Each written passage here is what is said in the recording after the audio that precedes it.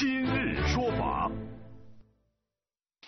一场邻里之间的休闲牌局，却变成永远的心痛回忆。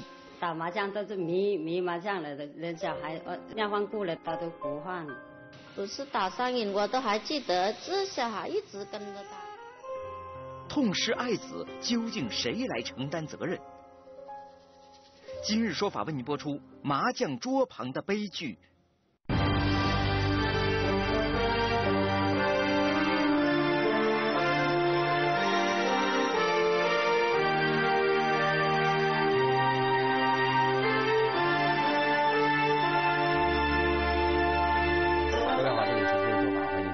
今天的节目，我们今天请到演播室的嘉宾是中国政法大学的王勇教授。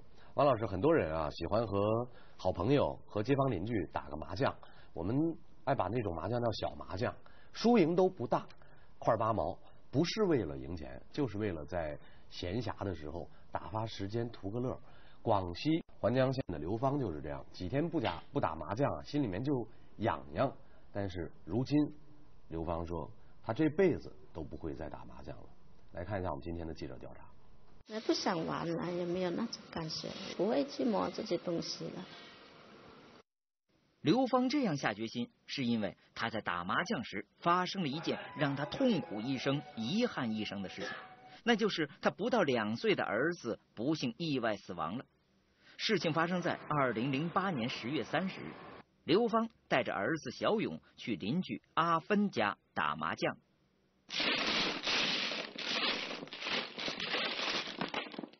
刘芳还在牌桌上与牌友酣战时，却有人发现他的儿子小勇在卫生间里出事了。事发时，卫生间里有一只装水的桶。当时就是我一进来就是接着呃接着头往下面，就这么小的一个桶。呃，就是就是这种桶。桶当时装了多少水呢？就是有有这么这么这么多的水。啊。里面还有一个水瓢，可能是去要那个水瓢啊，哦，这个水瓢又又要不了，就就这样就就头送脚现在这这就顶头就往往下面就挨迷迷了。刘芳赶紧抱着孩子冲到了医院，可已经太晚了。小勇因溺水而窒息死亡。当时心里面脑子全部是空白的。我也说不出那感受是什么感受。刘芳和丈夫三十多岁才生了这个儿子，没想到还不到两岁就出现了这样的意外。刘芳的丈夫和公公婆婆多多少少都有些埋怨刘芳，毕竟是她带着孩子去打麻将的。老人家肯定想不通，他肯定认定，那你带小孩去打，那你交给我不行吗？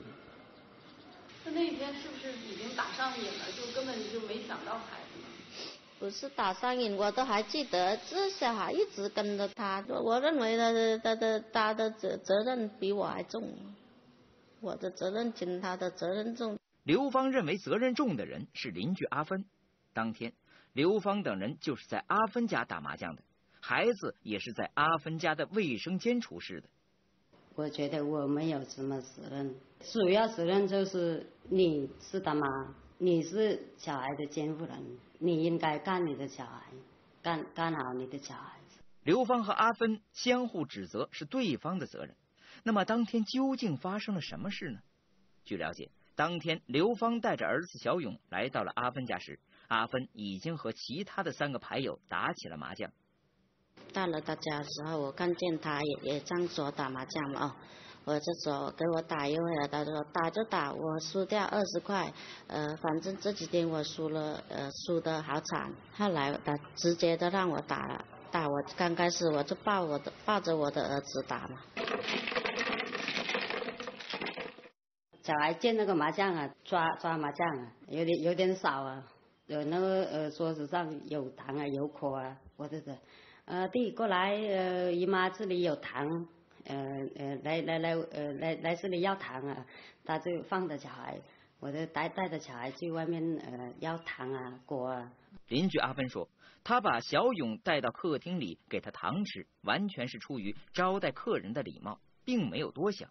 后来小勇自己就在客厅里玩，阿芬还替他换过一次尿不湿。打麻将都是迷迷麻将了的，人小孩呃尿换过了他都不换。那我哦，你这样子不不得的。我就说，那你带故事来嘛，带故事来我就帮你帮你换一下嘛。事情发展到这时，刘芳和邻居阿芬对事情的描述是基本一致的，但再往后，两人的说法就有了分歧。当时他就是说坐在这里。那个时候孩子在哪呢？那个时候我呃我中的小孩到这里了，到到他身边了，我在我就回去炒菜了。那他怎么能够知道你把孩子带过来呢？因为呃呃小孩已经分担给他吃了，还要分担给他吃，还要给给呃几个桌上的几个人呃吃啊。这个小孩也没有回回到我这里，了，那他又带走了，我就放心。刘芳说。阿芬把孩子带走之后，就再也没有交回到他的手上。他理所当然的认为阿芬是在照顾孩子，而阿芬却说，他把孩子带回到打麻将的那间房间，说明孩子已经交回到他母亲刘芳的手上。而恰恰就在这个时候，孩子自己跑到了卫生间，不小心一头扎进了水桶里。你拿糖来诱导着小孩跟你，你拿出去，你没有看好。而且你没有交到他母亲的手上，你又做别的，做别的事，你也没有交代他母亲一句话。到时候发生这事情以后，你也没有诚心诚意跟我去解决这个事情，难道你的良心都没有一点愧疚？刘芳一家始终认为是阿芬带走了孩子，没有照顾好，导致孩子发生了意外，因此他们将阿芬告上了法庭，要求阿芬赔偿十二万多元。由于刘芳家庭生活困难。环江县法律援助中心为他们提供了法律援助。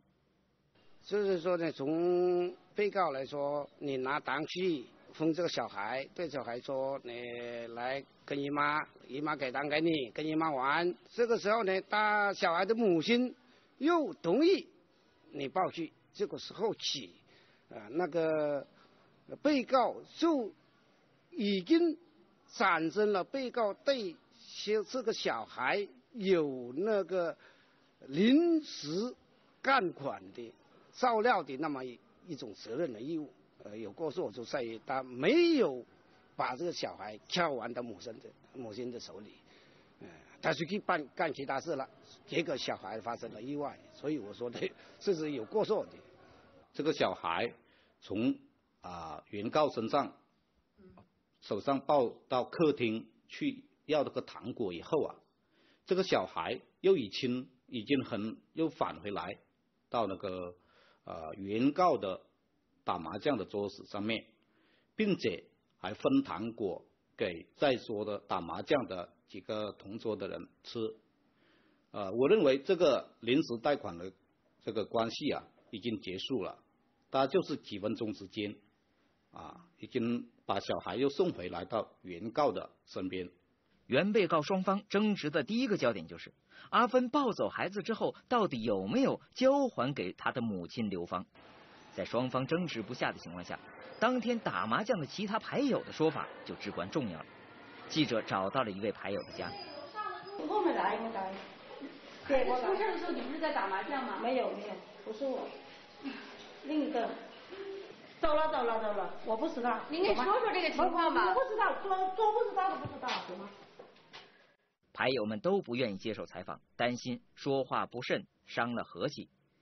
不过在法庭庭审此案时，有两个牌友都出了书面证明，上面都提到是阿芬把孩子从母亲那带到客厅里去吃糖，并且还帮着换了尿布。后来孩子又回到了母亲刘芳的身边，并且还分糖给大家吃。之后孩子就自己跑来跑去去玩了。我认为他在坐在这里，小孩在在那里玩，他也能看见的，是不是？当时这个门是开着的。该到的，全部该到的。小孩子在就在外面玩玩，来走来走去。但是原告认为你明没有明确的告诉我说，呃，孩子我给你送回来了。那么原告一直在专注于打麻将，所以他并没有注意到孩子已经回来了，所以后面才导致了悲剧。因为当时。这个小孩一直都没有脱离原告的这个视视野，所以不用说明确的要告诉我，呃，这个小孩我又带回来给你了，这个以实际的行动告诉了原告，啊，已经把小孩又回到了你的身边。在案件审理的过程中，刘芳的家人还提出，阿芬家的安全措施不到位，也是导致小勇死亡的一个重要原因。被告他是专门开说单排收费，你这作为一个业主呢，呃，应当对来的呃人的这个安全保障方面呢，应当有一定的义务。在你这地方打麻将怎么收费呢？最多只让他们打五块，那那咱们就也给五块，打两块就给两块，打打一块就给一块，这种这他们就是是个电费嘛，平平时我也不问他们要，嗯，他们就自己留的。阿芬说，他没有营业执照，也不对外人营业，只是平时邻居朋友来一起玩一玩，收他们的钱是为了平摊电费和茶水费而已，不算是盈利性行为。因此，邻居阿芬认为，有关消费场所的安全保障义务的规定和他们家是没有一点关系的。你买了两台麻将机，四千块钱回来，不可能拿来娱乐吧？你也没有什么职业，任何人都可以想到，是为了盈利。这些这这个麻将麻将桌是我老弟的，刚刚拿回来，第四天就出事了。我也没有打算什么呃经营呢制造啊这种这种没有的，我们都是只像姐妹玩玩而已，这是这种的。两家人各说各的理，而这件事在当地也传遍了，站在哪边说的人都有。可能麻将馆也有也也也有一部分责任呢，也也有承担承担很比较大的责任呢。在母亲的身上嘛。因为呃自己带着孩子怎么能去打麻将？这个事情你怪在他自己吧。在出了事之后，双方在互相指责，每一方都在强调对方应该在这个事件当中承担多大的责任。我们一方一方的来说，先是孩子的母亲对方，孩子的母亲作为孩子的监护人，具有绝对的照看和看护孩子的这样一种义务。嗯。那么在这个案子当中，这个孩子的看护义务就在孩子的母亲身上。嗯。所以他对于孩子的死亡具有不可推卸的责任。您刚才的分析是从孩子的母亲要不要承担责任这个角度来分析。我们针对同样一个事实，换一个角度，就是阿芬要不要承担责任？因为刘芳的家人在强调，阿芬你把孩子带走了，你带回来明没有明确告诉我说我把孩子带回来了啊，放你身边了，没有这样的表示。牌友们证实说这个孩子回来过，但是他一直在跑来跑去，跑来跑去。阿芬将孩子带去吃糖，这个实际上就使得他自己承担起一定的对孩子的看护、监督这样一种义务和责任了。嗯嗯。因为啊，任何一个人都要对自己的行为可能引起的风险和后果后果嗯承担责任。是。更何况这个行为针对的是一个孩子。嗯。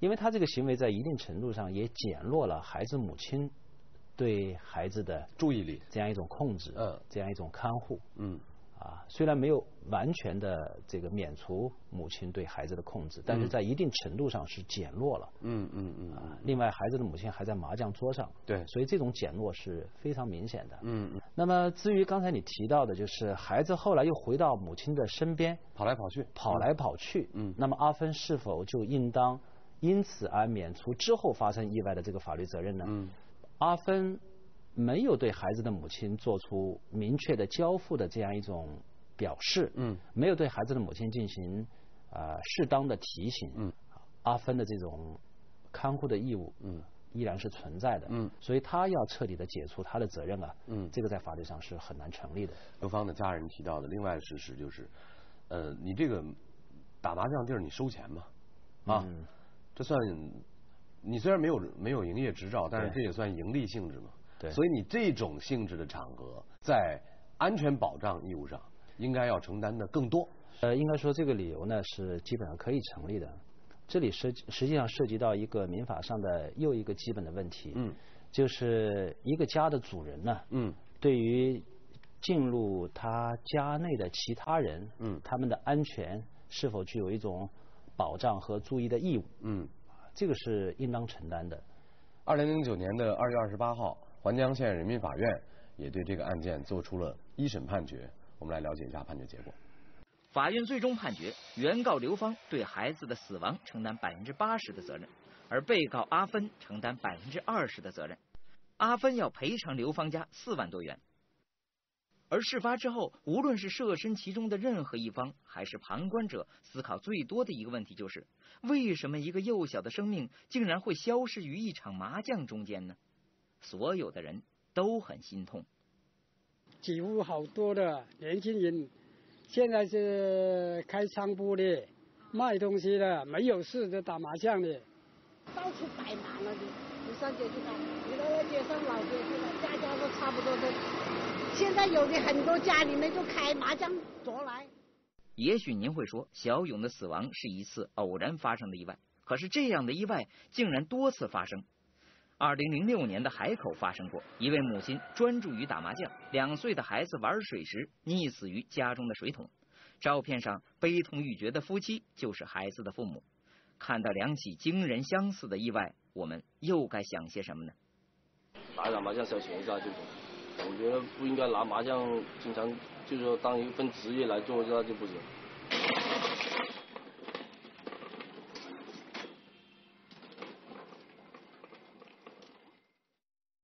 有一首顺口溜，说家里的孩子哭哭笑笑，山上的牛儿乱蹦乱跳，喂的珠子上了灶。这个顺口溜就是在说打麻将的人投入到了孩子也不管了，生活也不顾了，农活也不干了那种程度。所以，虽然有人说麻将是中国特有的文化，但是也有很多人在讲说麻将是害人不浅的一个东西。但是。我们要怪啊，不要把错怪到麻将上，要怪应该怪打麻将的人。所以我们也希望今天的这期节目啊，能够把某些朋友的那个麻将瘾降降温。感谢您收看今天的节目，感谢王老师参与现场讨论。